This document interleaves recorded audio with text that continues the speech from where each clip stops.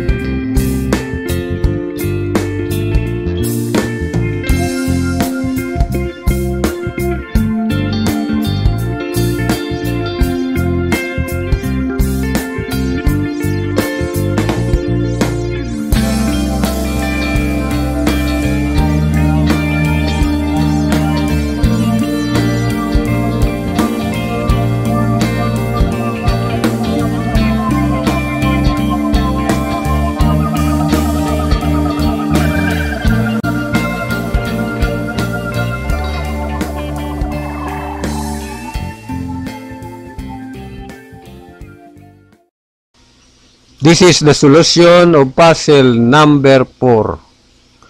Bishop, E5, King, F3,